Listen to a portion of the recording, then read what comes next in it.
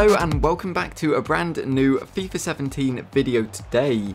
Today is going to be a little bit different. Um, I wanted to talk about an idea that I haven't necessarily come up with myself. It's more of an idea that's been thrown around in FIFA for a while now. Um, a lot of people, I won't say a lot, but a few people have kind of mentioned it and I really wanted to play off this idea, kind of um, put my own little twist on it. So what I've done is I've created a few graphics for this kind of idea to more visualize what I'm trying to tell you. I think it'd be really pointless me just putting gameplay in the background uh, and, and talking over it because you'd have absolutely no idea what's uh, what's going on. So I put those there. They're not the best. I think they work for what they are, but you know I'm not a graphic designer, so you know don't expect amazing things. But um, I think well first things first. Um, no, I think that's pretty much it. So let's jump into the first screen today, which is going to be the FUT creation. This is where you create your masterpiece, otherwise known as My FUT card. That's what it's called. Um, basically, the idea behind this is you have your own FIFA Ultimate Team item. You can choose the name, what they look like, weak foot, you know, as you can see on screen, position, defender, which could consist of uh, left back, right back, centre backs, goalkeeper, defensive midfielder, uh, midfielder being cam, centre mid, left mid, right mid, and forward being striker, centre forward, right wing, and left wing. So standard, standard stuff. But um, you have your own FIFA Ultimate Team item. You choose everything about it, and it progressively upgrades. The more you play with it, the more you do really well with it. Uh, if you're a striker, if you score goals, your finishing is going to go up. You know that kind, that kind of stuff. Um, very similar to pro clubs.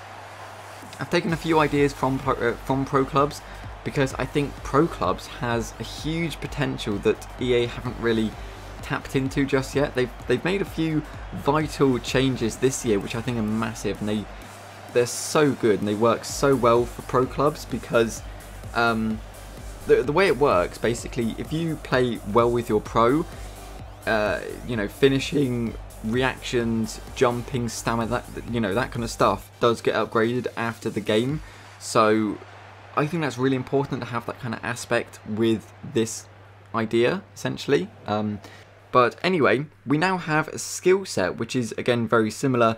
You've got three unspent skill points, which you can put towards whatever you like. So you've got a, a few um, few examples down below here. You could choose to upgrade your weak foot from one star to two star and have two other traits, or you could choose to put it all towards weak foot and have a four star weak foot but nothing else. So you've got a base card as is with you know everything being 50 um, and then just a four star weak foot whereas you could have say three star weak foot and improved finishing so you could have like 65 finishing to kind of get things going. You know the possibilities are basically endless. You could have better physical, improved heading, that's kind of what you're going for, and a two star weak foot or three star weak foot and finesse trait, for example. So, you know, it's totally, totally up to you. Either way, let's jump on to the next screen, which is going to be the collection book. I don't know why, or I don't know the, the uh, logistics why they can't have a collection book in FIFA. I know there's um, gambling and, and such, but I don't know if this falls onto that kind of category. So I, I don't know, because I know FIFA did have a collection book back in FIFA 12 was it or 13? I, I didn't play them, so I don't really know. But um, I know it had one back in the day, and it'd be so cool to have it. Especially, I think it works so well for this kind of idea. Um, as you can see on screen, we've got the non-rare bronze, got non-rare silver, non-rare gold, rare gold, and various informs with his ones to watch item, player of the month, man of the match, team of the season, and a Futties item as well. So you might be saying to yourself, why is there five uh, inform items of your FIFA Ultimate Team card? Well, um, I'll talk about this again in just a second uh, when we go on to the next screen, but I think it's it'd be really cool to earn yourself an inform by completing a challenge. So you complete the challenge that's you know not too easy, uh, and you earn yourself a upgraded, boosted inform item just like in real life. If a player, if a player plays really well or does some amazing stuff, they earn themselves a you know inform item in team of the week so i don't think i don't see why you shouldn't be able to do that and i don't see why you shouldn't be able to earn multiple different informs because um, in real life you can do that if messi plays really well over the course of a month you might have two or three. That might be stretching a bit, but he might have two informs. Um, you know, other people who are a bit lower rated might be able to earn three, four, etc., etc. So um, I think that that would be vital, if anything. Um, Player of the month could be. Uh, uh, it is a vague idea, but it could be a competitive aspect towards this this kind of mode.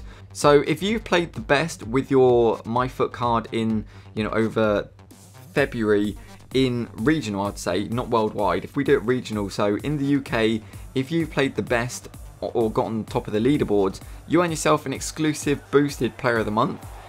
Possibly could be a thing. Um, again, I think it'd be too difficult if it was worldwide because, you know, that'd be just impossible.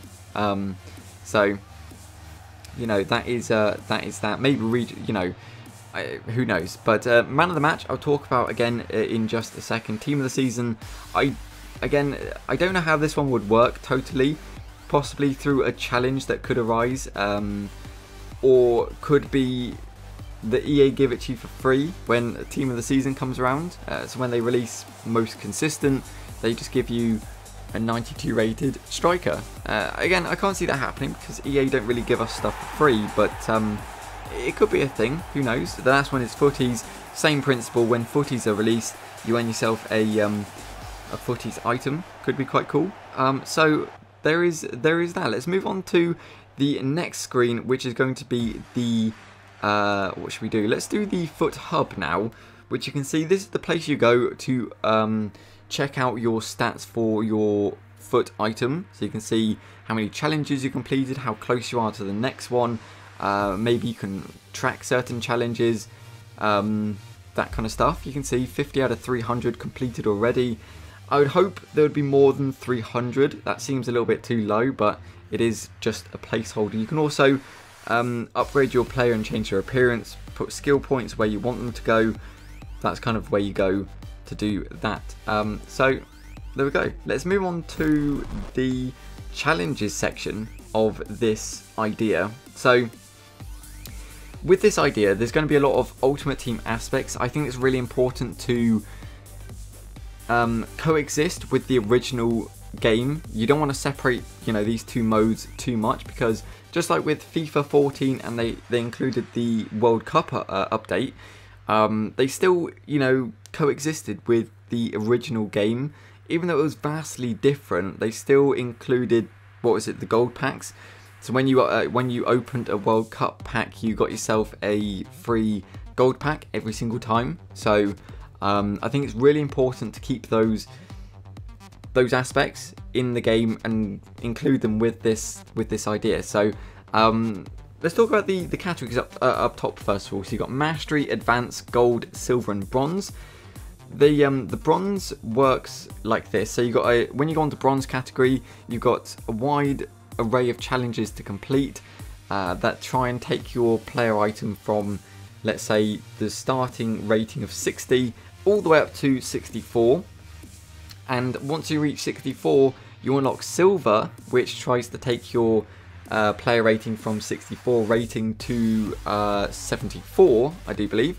And once you reach 74 rating you unlock gold category in advanced and mastery. So gold of course tries to take you from 74 all the way up to you know gold tier players. So like 90 95 could be a good capping point, or possibly 99. That could be just for the uh, elite tier players if they play it that much with um, with MyFUT card essentially. So, and uh, last but not least, advanced and mastery. Advanced works just the same as SBCs, so you know they're just more difficult. Same kind of principle. Uh, and mastery is once you completed everything before that, advanced gold, silver, and bronze, you unlock mastery to uh, just get some of those elite tier rewards. I think it's I think it'd be really cool to, ha uh, to have something that isn't like because uh, okay the way to try and explain it is FUT champions the best players the best of the best can earn some exclusive and high god tier rewards um, but not everyone plays FUT champions so it'd be really nice to have something that isn't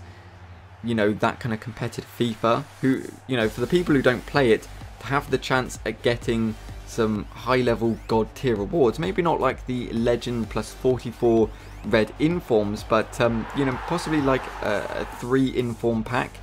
So from this team of the week you get three informs that'd be really cool. Of course, they wouldn't be easy; they'd be extremely difficult. So that um, that would be really, really cool to see. Okay, so I think we're pretty much uh, pretty much done at this point. The last thing I wanted to talk about is the upgrade section. So you can see on screen, it's very similar to Pro Clubs.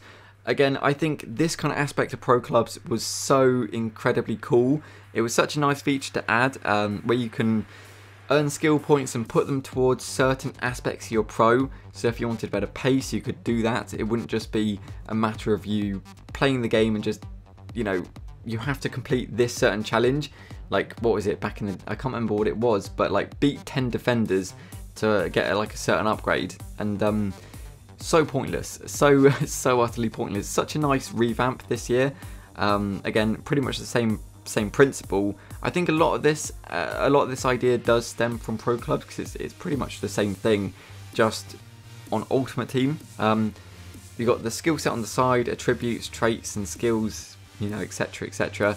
It's just where you go to view everything, view your challenges, what you want to do for like upgrades. Um, again, I'd love to see more challenges per category because in Pro Clubs you only have, um, I think it's like six or seven per category, some not even that. So it'd be nice to see a huge array of, um, you know, just more things to kind of make your pro more unique. But either way, there we go. So there is the My FUT card item. Hopefully you have enjoyed this video. If there's any anything I've kind of missed, do let me know in the comment section below. That'd be absolutely amazing, of course. Uh, do let me know as well if there's anything you'd personally like to see as or included in the my FUT item kind of thing. So if you had your own FIFA Ultimate Team card, what would you love to see if there's anything I haven't included in this video? So hopefully you have enjoyed this video. Thank you very much for watching and as always, until next time.